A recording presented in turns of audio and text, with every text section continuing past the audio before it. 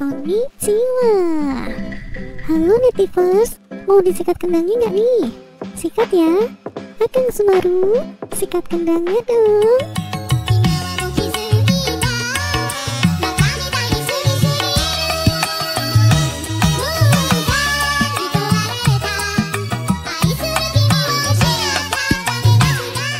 Halo Sobat Native, kembali lagi bareng Mimin di sini. Ya, ini adalah channel kedua dari Story by Kita masih satu manajemen. Jadi buat yang belum subscribe channel utama kita, subscribe dulu ya. Buat kalian yang pengen ikutan traktir kopi kita, kalian bisa klik link di deskripsi. Semua bentuk dukungan melalui Saweria akan kita gunakan untuk memperkembang semua channel manajemen kita. Sebelum masuk ke alur ceritanya, yuk tekan tombol like-nya, komen dulu dong biar seru. Jangan lupa share ke grup atau teman-teman kalian. Sudah semuanya? Yuk kita sikat alur. Enjoy and enjoy. Halo paslon-paslonku semuanya. Kali ini Mimin bakalan lanjutin part yang sebelumnya. Ya guys ya Kita masuk di part atau episode ke-13 Tepatnya di capture 75 Mari kita gunakan frasa hari ini Untuk mendapatkan beberapa petunjuk Untuk mencegahnya melakukan gerakan kecil di masa depan. Sanghao, yang gila ini membuatku marah. Aku tidak akan menyerah Hayo Tuan Monitor Mari kita gunakan cara manusia untuk menyelesaikannya di sini Gumam si Zhang Hao mengamati Tuan Monitor dari belakang itu. Terlihat langsung ditarik ya Tuan Monitor itu. Eh, diculik? Zhang Hao terkejut. Itu kau? Apa yang kau lakukan? Apakah Weinan menyuruhmu? Ini perintah Nyonya Wei. Aku tidak tahu tentang yang lain. Hanya berpura-pura kau tidak melihat apa-apa dan mengucapkan selamat tinggal. Langsung saja, dibawa pergi ya. Mobil itu pun cabut. Mengapa dia menangkap Tuan Monitor? Mungkinkah Weinan juga punya informan di sekolah? Apakah dia ingin aku berutang budi padanya? Ah, orang ini. Halo? Ah, kau menangkap teman kami? Bagaimana kau tahu itu aku? Pengawalmu menangkap orang tepat di depanku. Bagaimana menurutmu? Kenapa kau menangkapnya? Jangan katakan itu untuk melampiaskan kemarahanku. Ah, ucap si Zhang Hao ya. Nonawi berkata, Tidak, karena dia berani macam-macam denganmu, dia harus membayar harganya. Kau tidak perlu khawatir tentang hal ini. Aku akan menanganinya dengan baik dan dia tidak akan berani macam-macam denganmu lagi di masa depan. Seperti yang sudah diduga, kau juga memiliki mata-mata yang mengikutiku di sekolah kan? Aku sudah bilang sebelumnya, kamu tidak perlu khawatir dengan urusanku, aku bisa menanganinya sendiri, ucap si Zhang Hao. Nonawi berkata, Aku hanya ingin melihat bagaimana kabarmu di sekolah. Aku tidak peduli bagaimana kau menangani hal-hal sebelumnya. Sekarang, aku adalah orang yang di belakangmu, Wenan. Apa kau paham? Oke oke biarkan dia pergi, bye Ucap si Zhang terlihat murka ya Orang di belakang Dewa Tampan benar-benar tidak masuk akal Weinan Apakah ini penculikan? Benar-benar baik-baik saja? Bukankah Tuan Monitor akan bersekolah besok ya? Ah, panik sendiri si Zhang ya Hari berikutnya Simpelatkan tepatnya di sekolah ya Zhang kali ini nampak terkejut Wah, terlihat ya ketakutan mundur dengan kecepatan cahaya Ketika, silahkan Tiba-tiba, begitu hormat kepada si Zhang Hao Zhang Hao bingung apa yang Wenan lakukan pada Tuan Monitor kemarin? Orang ini tiba-tiba begitu sopan. Zhang Hao masuk di sini di suatu ruangan. Seperti biasanya ia bersama si Yue Hua. Zhang Hao, kau terlihat sedikit tidak tenang? Tanya Yue Hua nampak bingung. Zhang Hao menjawab, Ah, nggak apa-apa kok. Aku sedikit jengkel dan sakit kepala.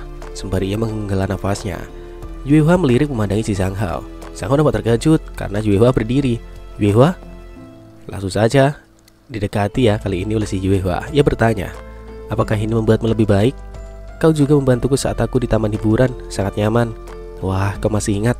Terima kasih Yue Hua, aku sudah lebih baik kok. Ucap si Zhang Hao di sini ya. Zhang Hao, langsung saja. Iya. Eh, ada apa? Zhang Hao bingung.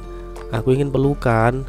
Zhang Hao dan aku akan sangat senang saat kita saling berpelukan dan kita juga akan senang saat berciuman. Mereka saling bertatap-tatapan. Aku ingin kau bahagia juga. Ya iya iya. Kenapa selalu kayak gitu endingnya anjing? Zhang Hao pun ya sebagai normalnya laki-laki yang pun tergoda juga. Ini ah sangat nyaman. Yue Hua terima kasih. Hmm? Meskipun aku pernah memeluk Kak Xin dan Weinan Namun ternyata aku merasa paling rileks saat memeluk Yue Hua Meskipun Kak Xin sangat cantik Karena dia adalah saudara tiri Aku tidak berani berpikir aneh-aneh dan Wenan, sikap posesif pria itu sangat menakutkan. Aku takut sesuatu yang tak terkendali akan terjadi jika aku lebih dekat dengannya. Dari sudut pandang ini, bersama Yue Hua adalah yang paling menenangkan. memeluk gadis cantik yang harum dan lembut ini dan menikmati kehangatan yang langka. Hmm? Yuehwa? Tiba-tiba. Iya. Sang Hao cium. Yuehwa, harap tenang dulu dan jangan impulsif. Aku tak ingin menimbulkan drama di sekolah karena takut tidak lulus ujian. Bagaimana agar tenang? Tanya Yuehwa. Ah, jika tidak, apakah kau melafalkan sutra tiga karakter atau sutra berlian dalam hati? Ah, tidak mau. Sutra berlian atau diamond itu kayak sutra Mahayana dari bagian sutra Prajna Paramita ya. Manfaatnya itu menghancurkan segala kerisauan dan kegelapan hati, dapat menghilangkan segala penderitaan, dapat mencari lebih pintar dan bijaksana. Pikirkan, ya pikiran akan menjadi lebih terbuka tentunya. Kalau begitu tenanglah dan seperti ini. Hmm, ya, terlihat ya. Begitu gemas Sang Ho kepada Yuehwa. Sang Ho berkata, Biar aku katakan sekali lagi, film pendek yang ditunjukkan Huang Yuan Yuan kepadamu adalah hal-hal yang hanya bisa dilakukan oleh pasangan. Kamu harus menonton beberapa drama sekolah remaja terlebih dahulu, dan kemudian membicarakan masalah ini setelah kamu mengerti apa itu cinta dan yakin ingin berkencan denganku. Baiklah, ucap Yuehwa. Lalu Zhang Hao, apa itu cinta? Cinta adalah ketika kau jatuh cinta pada seseorang. Kau ingin menghabiskan seluruh hidupmu bersamanya dan bersedia melakukan apa saja untuknya. Saat kau melihatnya, kau tak bisa menahan senyum dari lubuk hatimu.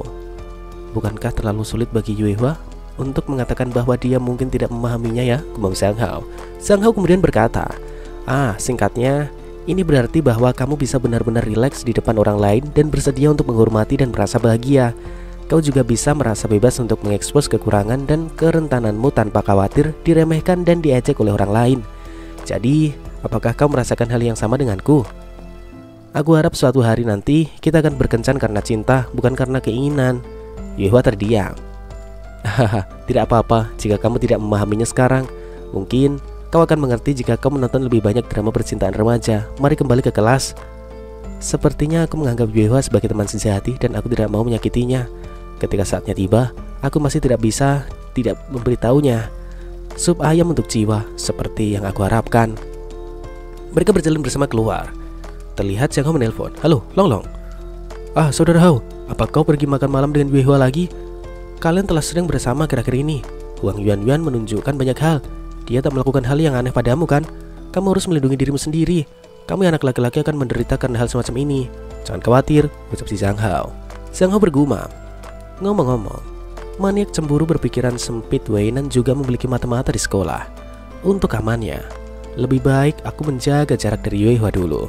Aku sepertinya terlalu dekat dengannya di sekolah. Ah, Yuehua, silahkan pergi dulu. Aku akan membeli sebotol air. Sang Hao sedikit terkejut Yuehua ya. Sang Hao berjalan sendiri. Kami jelas pergi bersama sebelumnya. Waktu terus berlalu, Sin pun berpindah memperlihatkan suasana malam harinya. Aku benar-benar bukan pria tampan yang berusia 70 ribu tahun. Bukan aku, Sang Hao pun ya tepat ya di settingan streamingnya. Tiba-tiba ada Kak Sin Sin. Ah, maaf pemirsa, kita akan istirahat. Sayangku menginginkannya.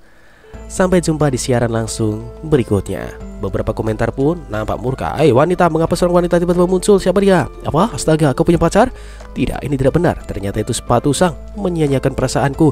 Kenapa kamu melakukan siaran langsung jika kamu punya pacar?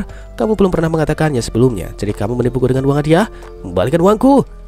Katakan sesuatu. Kak Sinjin, aku belum lelah. Kau sangat fokus setiap kali bermain game secara langsung. Kau perlu istirahat yang cukup. Ayo berbaringlah di tempat tidur dan kakak akan memijatmu. Sang Hao pun rebahan tepat di pangkuan Kak Sinsin. Kak Sinsin benar-benar perhatian ya, gumam si Sang Hao.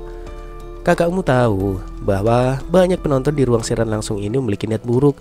Akan lebih baik bagi Hao Hao untuk mengurangi siaran langsung di masa depan ya. Selain itu, tidak peduli seberapa banyak yang mereka berikan kepadamu untuk mengeksposmu, jangan mengeksposnya. Kau paham? Mengekspos apa? Tanya Zhang Hao. Ia bergumam. Bukankah mereka biasanya bertanya tentang ukuran tubuh ya? Kak Sinsin berkata, Hao Hao, bahkan tidak tahu apa yang terjadi di sekitarnya. Bagaimana dia bisa meyakinkan kakaknya jika dia begitu polos? Bagaimana jika hari ini kakak membantu Hao Hao mengukur empat dimensi? Empat dimensi, pinggang, dada, pinggul, apa satu lagi ya? Zhang Hao pun bingung di sini, cok. Terkejut dengan apa yang dimaksud kakaknya itu tadi. Sin Sin pun melangkahkan kakinya mendekati Zhang Hao. Ah, Kak Sin Sin terlalu dekat. Zhang Hao pun sedikit panik ya di sini ya. Wah, sangat wangi. Dia disingkapkan bajunya. Ah, Hao Hao sebenarnya memiliki otot perut. Ah, karena aku berolahraga. Hmm, kakak sedikit tiri di tuel-tuel ya. Aduh, jangan. Wow, Hao Hao terlihat bernafsu. Sin Sin pun tergoda juga di sini.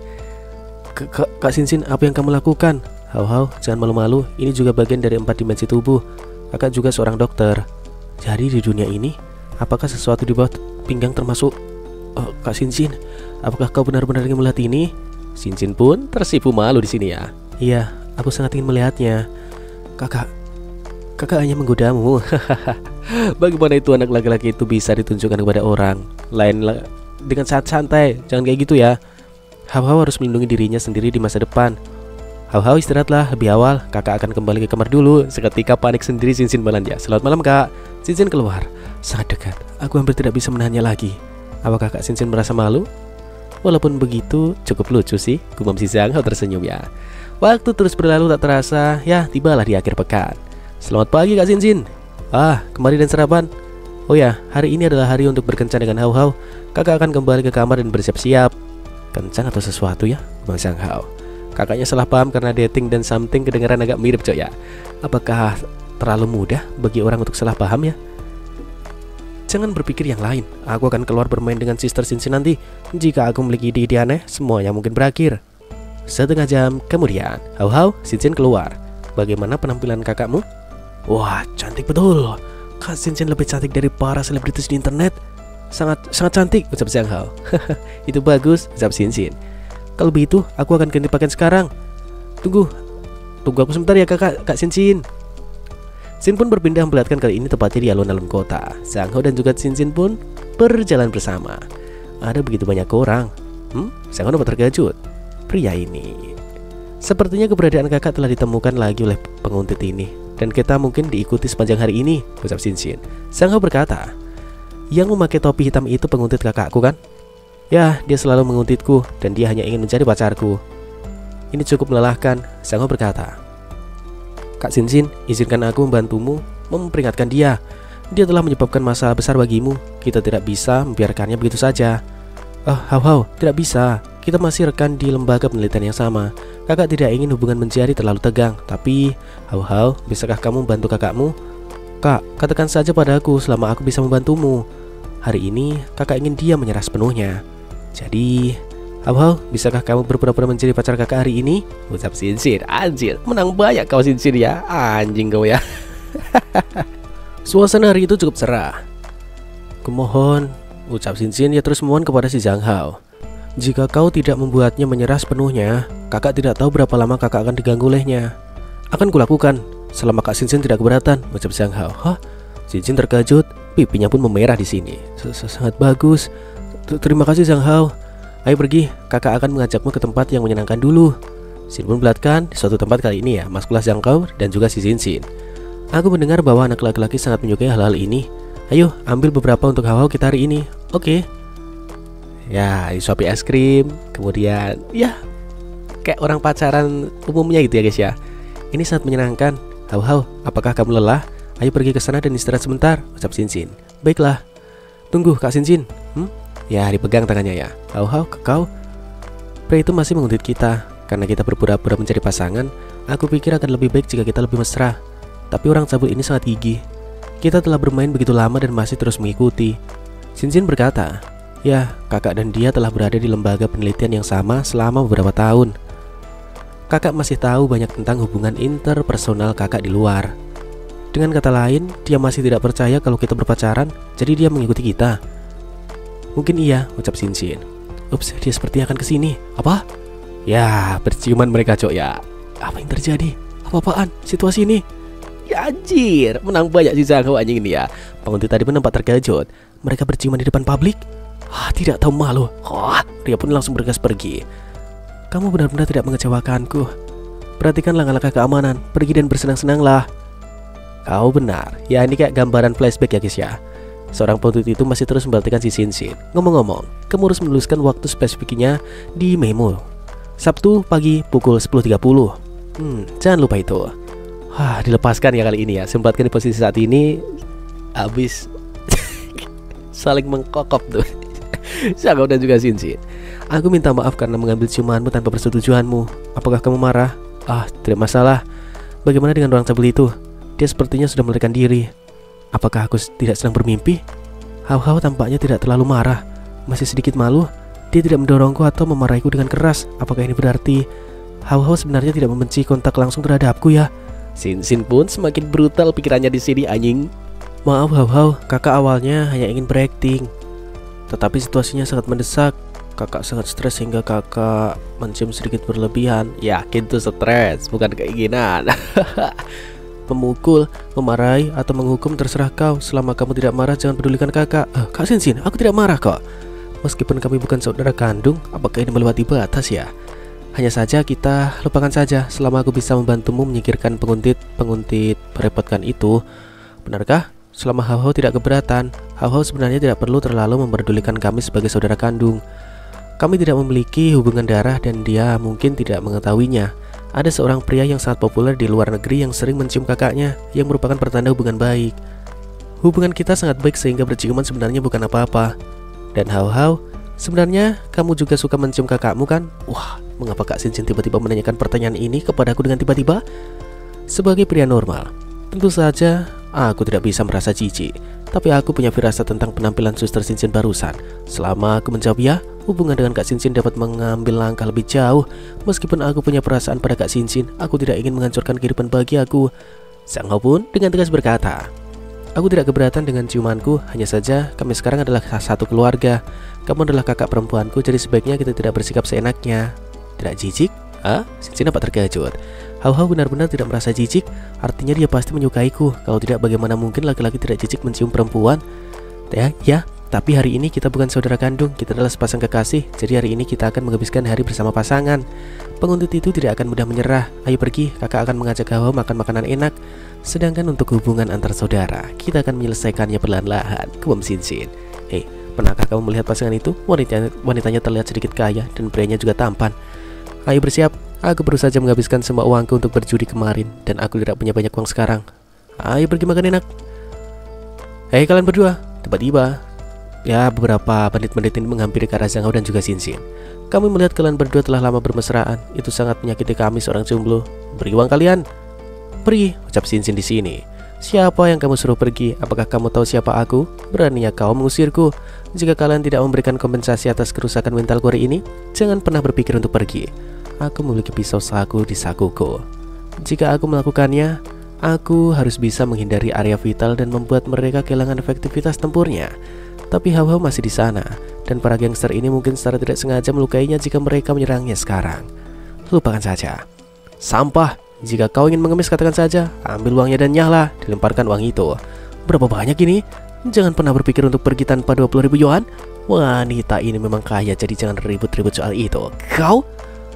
Jika kau tidak mau membayar jangan salahkan kami yang mengambil tindakan Jangan bilang kami tidak sopan jika wajah mungil pacarmu yang menawan dirusak oleh tindakan tersebut Jika aku benar-benar ingin mengalahkanmu Aku akan melakukannya mengapa kau begitu banyak membual Apakah kalian takut?